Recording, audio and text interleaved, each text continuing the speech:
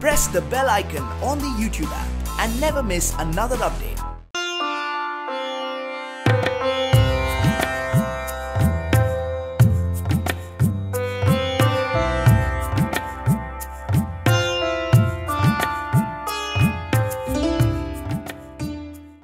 राम राम भारत माता की जय भारत के अध्यात्म को समझना इतना आसान नहीं है बहुत सारे लोग आध्यात्मिक चर्चाओं में मज़ाक तो उड़ा देते हैं, लेकिन उसकी वैज्ञानिकता को नहीं समझते। उसके पीछे की बायोलॉजी को, उसके पीछे के फिजिक्स को, उसके पीछे की केमिस्ट्री को समझते नहीं है। और इसीलिए मेरा सभी लोगों से यह निवेदन है कि know the facts of India Bharat के तथ्य को जानोगे तो अपने जीवन का तत्व समझ में आ जाएगा। मैं शिव जी के पाँच प्रमुख तत्वों की बात करता हूँ। भगवान शिव को आदिदेव कहते हैं। भगवान शिव के होने का कोई पता नहीं है। जब ये धरती थी, जब ये धरती नहीं भी थी, तब भी भगवान शिव हैं।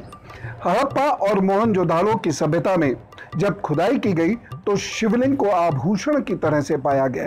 यानी उस समय के लोग शिवलिंग को गले में आभूषण की तरह प्रयोग करते थे। भगवान शिव का जो मंत्र है, ओम होम जूम सा सा जूम होम ओम, यह मंत्र बहुत विशेष है यह मंत्र किसी व्यक्ति के अंदर ऊर्जा भर देता है, यह मंत्र किसी के सेल्स को डेवलप कर देता है। इसीलिए जब महामृत्युंजय मंत्र का जप किया जाता है तो मृतप्राय रोगी भी ठीक होने लग जाते हैं, क्योंकि उनके सेल्स रिजुविनेट होने लगते हैं सेल्स डेवलप होने लगते हैं।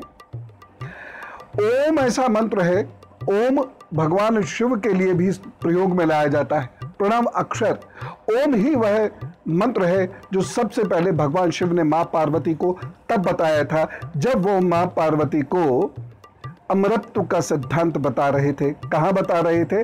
अमरनाथ की गुफा में। ओम एक ऐसा बीजाक्षर है, एक ऐसा शब्द है जो ब्रह्मांड में भी श्रव्य है। यानी आप इसे उस वैक्यूम में भी सुन सकते हैं। स्पेस के वैक्यूम में भी इस मंत्र को आप सुन सकते हैं। सूर्य के मूवमेंट से इस ध्वनि का उदय होता है और शरीर के भीतर यही ध्वनि नाद कहलाती है, जिसका उदय नाभि से होता है और हृदय स्थान पर आकर यह व्याप्त हो जाती है और यहाँ से ऊर्जा के रूप में यह हमारे मस्तक के मध्य हिस्से में आती है, जहाँ पर एक पीनियल ग्लैंड होता है, जहाँ से मेलेटोनिन नाम के एक हार्मोन का स्राव होता है और यही है शिव जी का तीसरा नेत्र। जो लोग ओम के मंत्र को सिद्ध कर लेते हैं, वह त्रिकालदर्शी हो जाते हैं, वह ब्रह्म ज्ञानी हो जाते हैं। और यहाँ तक मैं आपको बता रहा हूँ, जो ओम के मंत्र को अपने आज्ञा स्थान में सिद्ध कर लेते हैं, उनका आज्ञा स्थान बल्ज हो जाता है, और ये जो पीनल ग्लैंड होता है, ये थोड़ा सा उठ जाता है। जब कभी आप ऐसे साधकों को तिलक करें तो आप उनको यहाँ छू कर देख सकते हैं, उनका ये स्थान उभरा हुआ होगा। इसी मंत्र से वह ऊर्जा उत्पन्न होती है, जो मस्तिष्क की इलेक्ट्रोमैग्नेटिक एक्टिविटीज़ को बढ़ा देती है। जब आप इस नाद स्वर से ओम का उच्चारण करते हैं, केवल गले से नहीं, ओम, ऐसे नहीं, इस गंभीर ओम के उच्चारण की वजह से मस्तिष्क की इलेक्ट्रोमैग्नेटिक एक्टिविटीज़ बढ़ जाती हैं और व्यक्ति अपना भूत वर्तमान और भविष्य ही नहीं, बल्कि वह अपने शरीर को भी ठीक करने लगता है।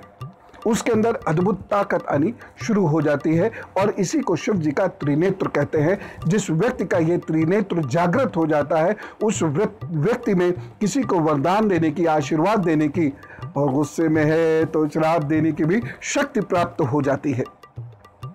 भगवान शिव का यह प्रतीक है। सामान्यता इसे लोग लिंग और योनि कहते हैं, लेकिन यह उत्पादन का प्रतीक है। इस सृष्टि के उद्भव का यह प्रतीक है। यह भगवान शिव का लिंग नहीं है। यह इसको गलत रूप में निरूपित किया गया है। लिंग का अर्थ है प्रतीक। तो यह भगवान शिव का प्रतीक है। इस सृष्टि के उदय का प्रतीक है। ज्योतिर्लिंग, जो सृष्टि पृथ्वी के नीचे है, जो ब्रह्मांड के अनंत तक जाती है। उसका यह प्रतीक माना जाता है। ऐसे स्थान पर ज्योतिर्लिंग स्थापित होते हैं, जो पृथ्वी को एक संतुलन प्रदान करने वाले स्थान है। यह अद्भुत ऊर्जा का पुंज माना जाता है। यह शिव जी का वह प्रतीक है। शिव जी का एक निराकार स्वरूप है शिव जी का एक बेर स्वरूप है, यानी प्रतिमा स्वरूप है, और शिव जी का एक प्रतीक स्वरूप है, जिसे हम शिवलिंग कहते हैं। तो शिवलिंग की उपासना जो व्यक्ति ओम उच्चारण से करता है या संपुट लगा के, यानी ओम, होम, जूम, सह सह, जूम, होम, ओम से करता है, उसके शरीर में सेल्स रिजिविनेट होना शुरू करते हैं, जिससे वह गंभीर रोग, यहाँ तक कि कैंसर आदि रोगों से भी मुक्ति पा सकता है।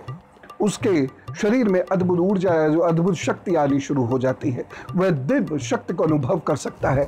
आप यदि अपने भीतर ओम का नाद सुनने लगेंगे तो आप सूक्ष्म शरीर की यात्रा भी कर सकते हैं।